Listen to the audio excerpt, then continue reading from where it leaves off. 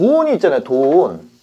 돈, 이게 다 똑같은 돈이 아니에요. 두 가지로 나눠져 있습니다. 1번, 줄어드는 돈. 2번, 안 줄어드는 돈. 예, 돈에 이름표가 안 붙어 있으니까 다 똑같은 돈인 줄 알아요. 근데 이 줄어드는 돈이 뭐예요? 내 월급 통장에 있는 돈이에요. 계속 쓰면은 그냥 다 사라집니다. 근데 어, 계속해서 안 줄어드는 돈 뭐예요? 자산에서 나오는 돈이에요. 오늘 이 얘기에 대해서 아주 디테일하게 얘기를 드릴 겁니다. 이 영상을 보고 나면 여러분들이 경제적 자유라는 것의 진짜 실체에 대해서 알게 될 거예요. 어떤 소득을 만약에 이 줄어드는 돈을 안 줄어드는 돈으로 바꿔주는 이 작업, 이 작업을 하지 않는다면 결말은 그지가 되는 거예요. 영원히 일할 수 있는 사람이 있어요? 없다는 거예요. 어, 이, 이거는 우리가 본능적으로 알고 있어요. 가난한 사람들도 다 알고 있어요. 이 세계로 가는 순간, 안 줄어드는 돈의 세계로 가는 순간 세상이 뭘로 바뀌어요? 공짜로 바뀌어요. 대부분의 것들이.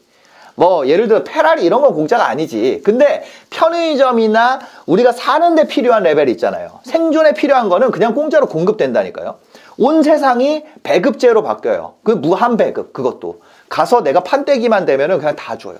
말 그대로 뭐예요? 파라다이스예요. 그게 뭐예요? 자본주의를 졸업한다는 얘기예요. 근데 이거를 일로 가지 않고 다 쓰면 세상에 어떻게 돼요? 계속해서 유료예요. 소비가 행복해요? 행복하지가 않아. 내가 결국에 나 자신에 대한 폰지 사기예요. 내가 쓴 돈을 내가 갚아야 돼. 무슨 얘기인지 아세요? 근데 그거를 속인다고 스스로를 돈을 쓰는 것이 나에게 데미지가 돼요. 그거 모르지 않아요? 다 알아요. 그래서 어떻게 돼요? 다른 사람들이 이 졸업을 하려 그러면 어 우리 당구 치다가 다 가락에서 걸리잖아요. 그러면은 걔 먼저 나가는 거 싫잖아. 똑같은 마음이에요. 얘가 만약에 그거 자본주의를 졸업하는 게 싫다니까. 다른 사람이 이 단계를 벗어나면은 싫잖아. 그래가지고 연예인 건물 사면은 칭찬 달려요? 악플 달려요? 당연히 악플 달리지. 그러니까 근로소득이나 사업소득으로 자산을 사는 선택을 비난하는 사람들은 진짜 뭔가 의도, 내가 모르, 저조차도 모르는 뭔가 의도가 있는 천재거나 아니면 진짜 병신들이라는 거야. 왜냐하면 인기가 영원히, 영원해요, 영원하지 않아요. 영원하지 않잖아요. 그 돈 벌 때 자산으로 바꿔놓지 않고 인기가 영원할 거라고 생각하는 게 더 희한한 거 아닌가? 그래도 이 얘기를 했다니까 연예인이라서 대출이 많이 나와서 법인을 만들어가지고 뭐 대출 받아가지고 사는 게 문제라고. 이건 더 희한한 소리죠. 인기가 있고 돈을 버니까 대출이 나오는 거지 연예인이라서 나오는 게 아니에요. 거기다가 뭐야 신설법인으로 사는 게 문제라고 신설법인은 연대보증 대표가 다 합니다. 100% 가지고 있으니까 우리가 이런 거 있어요. 100억대 건물 100억대 건물을 신설법인으로 했다고 합시다. 근데 이거를 70% 80% 대출받는다는 게 문제 아니에요. 근데 그 법인이 우리나라 법이 그렇게 녹록치가 않아요. 한 100억 이상 되는 건물을 7, 80% 대출 받아가지고 하잖아요. 그럼 뭐가 돼요? 회계감사 대상이 돼. 외감 대상으로 지정이 돼가지고 외감을 매년 받아야 됩니다. 회계사 선임해가지고 매년 감사를 받아야 돼요. 인기랑 관계없이 연예인이 대출이 나올까요?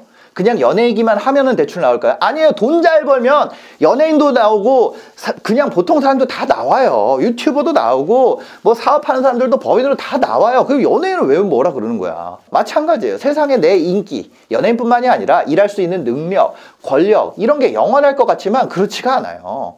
근데 변화 없는 게 뭐예요? 맞아요. 자산들. 저는 그 중에서 사실은 부동산을 제일 선호를 할 뿐인 거죠. 사람마다 다 다른 거죠. 그럼 이제는 방법에 대한 얘기를 해볼게요. 그래서 그래서 어쩌라고? 그래서 어쩔 건데?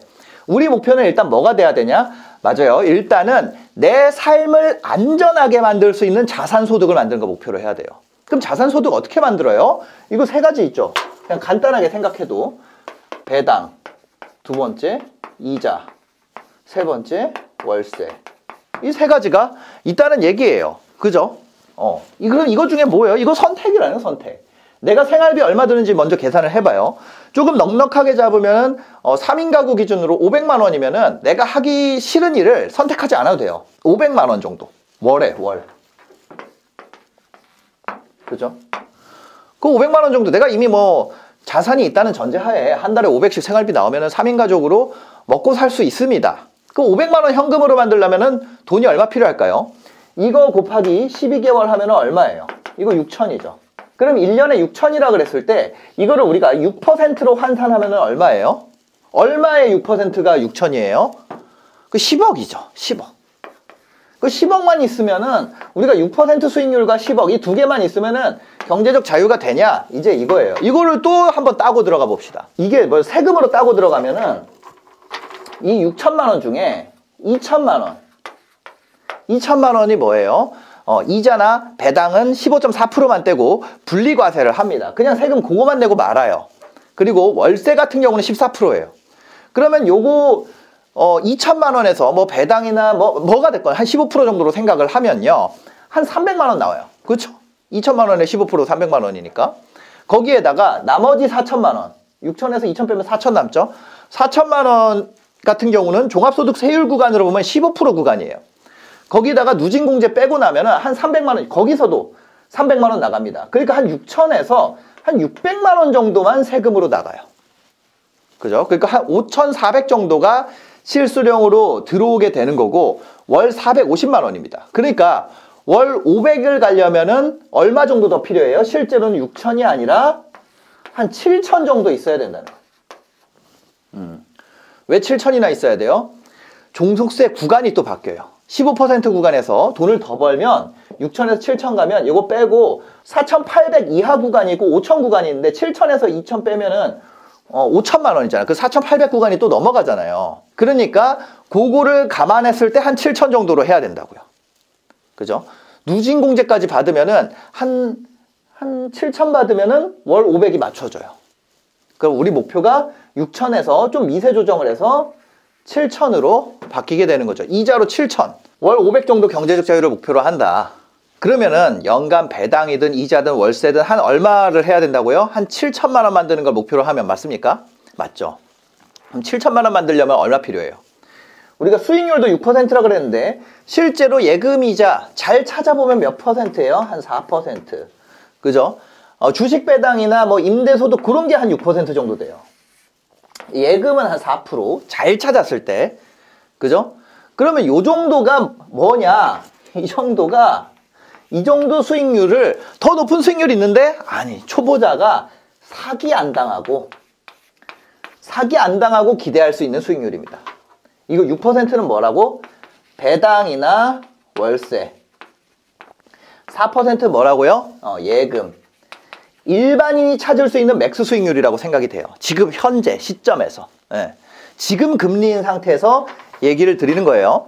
근데 여기서 여러 가지 이제 기술적 방법을 통해서 어떻게 돼요? 수익률을 올릴 수가 있게 되는 거예요. 근데 지금 초보자 입장에서 이거보다 높은 수익률을 목표로 하면은 리스크가 있다는 거예요.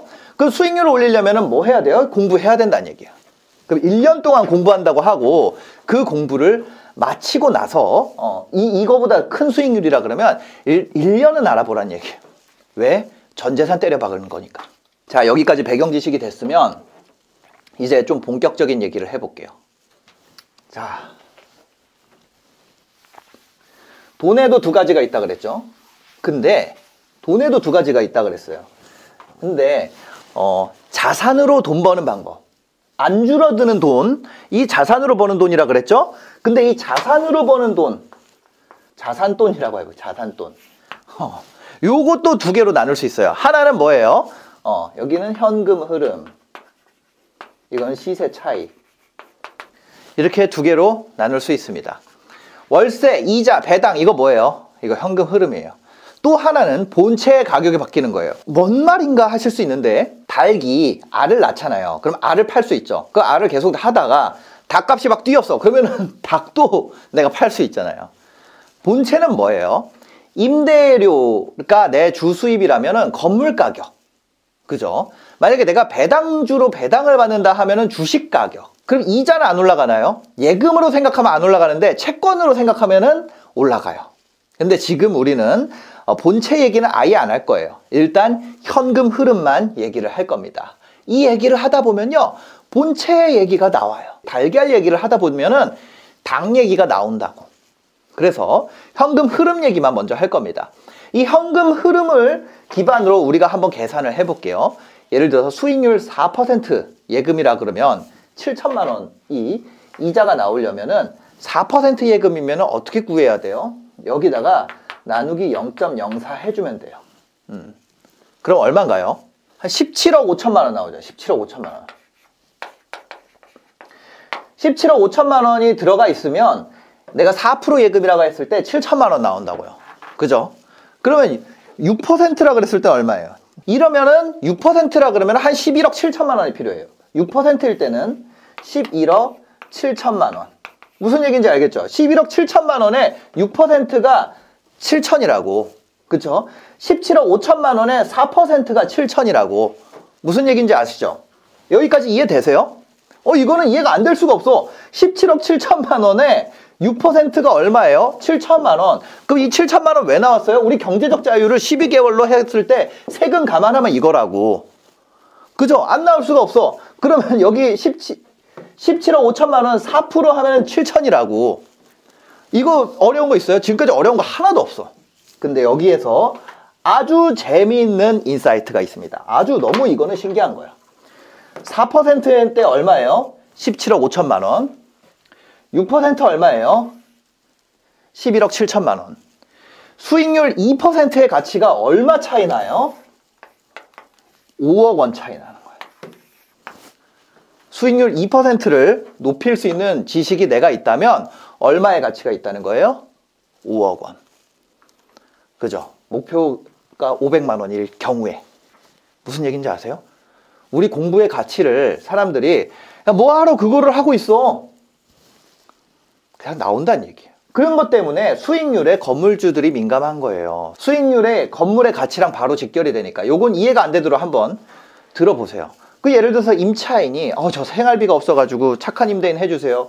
그 이거 이거를 깎아야 돼요? 아니야. 걔한테 그냥 돈 주고 임대료 그대로 내라고 하는 게 더 낫다는 거예요. 아니면 rent free 무상 임대 기간을 좀 주는 게 더 낫다는 거예요. 그렇게 하고 수익률을 유지하는 것이 훨씬 더 좋은 선택이라는 거예요.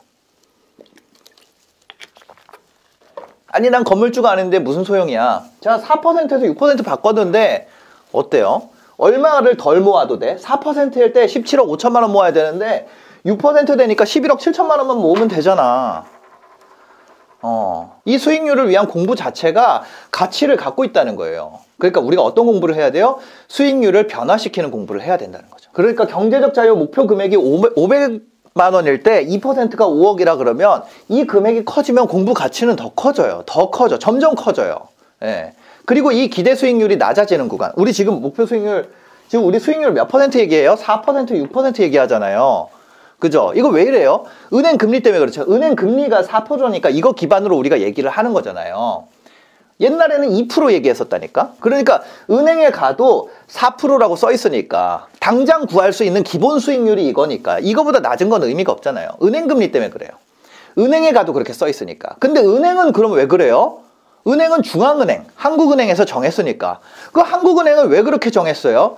경제 상황 보고 정했으니까. 그럼 경제 상황 뭐 봐요? 물가 보고 성장 보니까. 물가는 뭐예요? 소비자 물가지수 발표되니까. 성장은 뭐 봐요? GDP 나오니까. GDP 뭐예요? 가계 기업 정부니까. 기업 뭐예요? 기업단의 매출들이 있으니까. 그거 합산해서 기업 나오는 거고, 가계 소비 합산해 가지고 가계 나오는 거고, 정부 지출 합산해서 정부 나오는 거예요.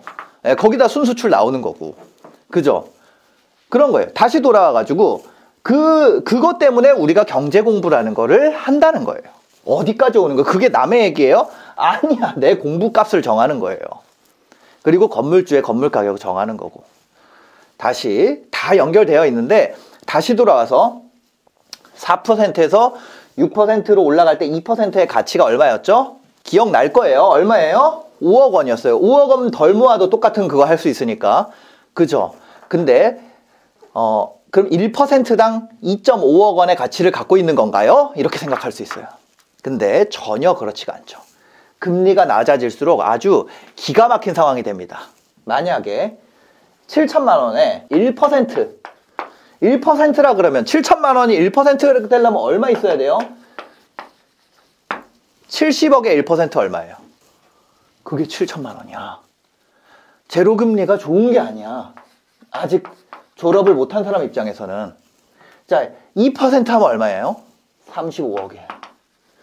초저금리 구간에서는 지식의 가치가 어떻게 돼요? 이 수익률을 올릴 수 있는 지식의 가치가 어마어마하게 높아지는 거예요. 이거 35억에 30, 35억 차이잖아요. 맞아요? 맞다는 거야. 그러면 저금리일 때 저금리일 때 금리 하나하나 이 한 칸 한 칸의 가치가 훨씬 더 커지잖아. 예, 무슨 얘기인지 아세요? 그 얘기가 그 자산 가격에도 똑같이 적용된다고. 자, 금리가 올라갈수록 우리한테 필요한 돈의 양이 훅 줄어들잖아요. 금리가 낮아질수록 필요한 돈의 양이 확 늘어나잖아요. 근데 그게 자산 가격에도 똑같이 적용이 된다고요. 아까 건물주처럼. 금리가 낮아질수록 수익률 공부의 가치가 급격하게 올라가게 되는 거예요. 그러니까 어떻게 해야 돼요? 지금 금리가 높잖아. 여러분들은 너무 행운인 게 지금 금리가 낮아요, 높아요? 높은 구간이에요. 지금 따라잡아야 돼요. 지금 돈 벌어서 자산 사야 돼요. 금리 내려가면 수익률의 가치가 급격히 커지는 구간이 옵니다. 예. 7천만 원 경제 적 자유 만들려면 70억 있어야 돼요. 진짜 피똥 싸야 됩니다. 6%일 때 얼마였죠? 11억 7천만 원. 2% 얼마라고? 2% 35억 있어야 돼요. 예전처럼 제로금리 돼가지고 2% 된다 그러면 얼마 있어요? 35억 있어야 된다. 너무 멀어지죠. 그러니까 우리가 지금 지금 구간에서 6% 되는 구간을 만들어가지고 2% 사, 세상에서 만약에 팔잖아요. 우리가 6% 구간에서 만들었어 그런 거를 근데 그거를 내가 계속 갖고 있다가 2% 세상 왔을 때 팔면은 얼마야 35억이잖아 이만큼 차익도 먹는 거야 기다렸다가 이게 본체 본체 본체 가격입니다 어. 이게 시세 차익의 기본 원리예요 여기서 이제 성장률이라든지 이런 것들이 반영이 됩니다 근데 시세 차익 기본 원리는 이거예요 그럼 이거는 어디서 와요 월세에서 오는 거고 월세에서 전세가율 전세가율이 나오는 거고 주식은 좀 다른 줄 알았거든. 주식도 똑같더라고. 배당에서 기본적인 가치가 나와요. 배당이라는 거 어디에 있어요? 배당은 어디에 연동돼요? 순이익에 연동되잖아요. 채권 가격을 봤더니 채권도 똑같아요. 채권 가격 어디에? 이자에. 똑같더라고. 똑같아요. 이게 시세 차익의 기본 원리예요. 이해가 안 될 수도 있어요. 그죠? 그러면 자, 다시 돌아와가지고 11억 7천으로 돌아와가지고 6%라고 할게요. 이게 뭐예요? 자본주의가 천국으로 바뀌는 기본값이에요. 아까 어, 줄지 않는 돈. 음. 11억 7천은 생각보다 안 높습니다. 그러면 500만 원 생기고요. 이게 솔로라고 할 때 100만 원으로 제네시스 타고 100만 원으로 오피스텔 근사한 데 살고 300만 원 전부 다 소비에 때려박으면서 그냥 flex 하면서 살 수 있는 돈이에요. 500만 원 솔로면. 여기에다가 직장 다니면서 스트레스 없이 한 300만 원, 400만 원 더 벌면 어때요? 아주 아름답게 살 수가 있는 거죠. 근데 문제가 뭐예요? 너무 큰 문제. 지금 이 11억 7천만 원이 없다는 거 아니야. 그죠? 요거는, 요거 6% 수익률은 사실 멀지 않아요. 그렇게 멀리 있는 게 아니야. 근데 이 11억 7천은 너무 멀리 있어. 그러면 다시 역산을 해봐가지고 한 달에 300씩 저금하는 경우에 얼마 걸려요? 32년 정도 걸리지. 그죠? 3,600만 원이니까. 11억 7천 나누기 3,600 하면은 32.5년이잖아요. 그죠? 11억 7천 나누기 3,600 하니까. 근데 이거를 6% 복리로 저금을 하고 매년 3,600씩 저금을 하잖아요. 그러면 얼마 걸릴까요? 표를 한번 보여주세요. 18년으로 내려옵니다. 18년째, 어, 18년째 되는 해에 마지막 해에 11억 7,900이 넘게 돼요. 32.5년, 32년 6개월에서 18년까지 내려온다고. 어때요? 6% 복리가 이 수익률이 들어가는 순간 확 줄어들게 되는 거죠. 거의 반토막 나는 거죠. 그런데 18년이 짧아요? 아니, 아, 여전히 너무 길어. 32년에서 14년 깎았는데 6% 수익률의 힘은 어, 뭐예요? 이, 이 가치도 있지만, 이 돈에 대한 가치도 있지만, 시간에도 작용을 하는 거예요. 너무 놀랍죠?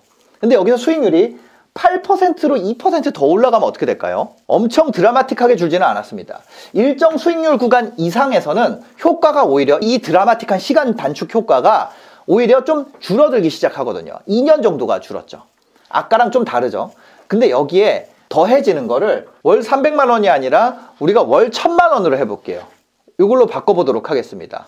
그럼 얼마 걸리나요, 시간이? 바로 우리가 자본주의 졸업이 7년 만에 달성이 됩니다. 유치원부터 6학년까지만 다니면 어, 천만 원씩 저금한다 그랬을 때 7년이면은 졸업이 된다는 거예요. 7년째 11억 5,600이니까 한 1,400만 원 정도 더 모으게 되면은 7천이 되니까 거의 7년이면 다 달성이 된다는 거예요. 그럼 2천 저금하면 어떻게 될까요? 4년이면은 자본주의 게임이 끝나요. 네. 만약에 여러분들이 어떤 걸 1년 배워가지고 한 달에 2천씩 벌 수 있고 그 고생 4년만 하면은 경제적 자유가 만들어진다는 거죠. 그리고 6% 시대에는 그 달걀을 먹지 않고 계속 재투자하다가 2% 시대로 바뀌었을 때 닭을 팔면은 어떻게 돼요? 게임 레벨이 그냥 바뀌게 돼요. 그럼 이런 생각이 드실 거예요. 월 2천만 원을 저축하려면 어떻게 해야 될까? 한 달에 500만 원 쓴다고 하고 어, 만약에 500만 원 내가 쓴다 그러면 한 2,500 정도 벌어야 됩니다. 그러면 나한테 떨어지는 거 2,500을 어떻게 버냐? 2,500을 어떻게 하냐? 하루에 85만 원 벌면 됩니다. 그럼 하루에 85만 원 어떻게 버냐? 5만 원 남는 거를 사, 상품을 몇 개 팔아야 돼요? 17개만 팔면 돼요. 5 곱하기 17 하면은 7, 5, 35에 50 더하니까 85잖아요. 그죠? 그럼 5만 원 남는 상품 17개 팔려면 어떻게 해야 되냐? 상품 구경을 몇 명이 와야 돼요? 한 300명 정도 오면 됩니다.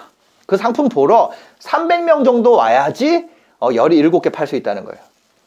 물론 상품도 좋아야겠죠. 음. 근데 한 가지 여러분들 기억해야 되는 건 대학생들 영어과에도 요즘엔 30만 원씩 한다는 거예요. 5만 원 남는 걸 못 만든다? 5만 원 남는 상품은 지금 시대에는 누구나 만들 수 있어요. 누구나. 상품 만드는 것도 얘기를 드릴 텐데 상품 만드는 거 빼고 그럼 300명이 내 상품 소개하는 곳으로 어떻게 오게 해야 돼요? 그 사람들을 보게 할 수 있는 비디오 뭐 유튜브라든지 아니면 블로그 아니면 이미지 뭐 텍스트 뭐가 됐건 어, 뭐 그게 인스타그램이 됐건 스레드가 됐건 X가 됐건 뭐건 그렇게 해서 그 컨텐츠를 1,500명 정도가 보게 만들면 그 사람들이 1,500명 중에 한 300명 정도는 내 상품을 소개하는 곳까지 온다고요. 예. 그럼 1,500명을 보게 하려면 어떻게 해야 되냐? 일반적으로 어, 내 컨텐츠가 읽어야 되잖아요. 근데 읽기 전에 노출되는 단계가 있어요. 우리가 비디오를 클릭해서 보잖아요. 여러분들도 이 컨텐츠를 클릭해서 봤잖아요.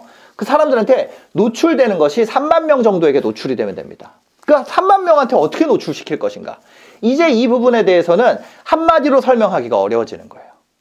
이 부분에 대해서 여러분들이 자세히 알고 싶다면 고정 댓글에 링크가 있습니다. 그 비디오 보시면은 분명히 도움이 되실 거예요. 월 500만 원을 만든다는 건요. 이렇게 한 20분 정도만 설명을 하면 누구나 깨달을 수가 있습니다. 근데 만약에 이 비디오가 이해가 되지 않고 사기처럼 느껴지신다면 어, 그냥 안 하셔도 됩니다. 진짜 경제적 자유를 만드는 방법에 대해서 어, 궁금하다면 아래 링크를 확인해 주시기 바랍니다. 감사합니다.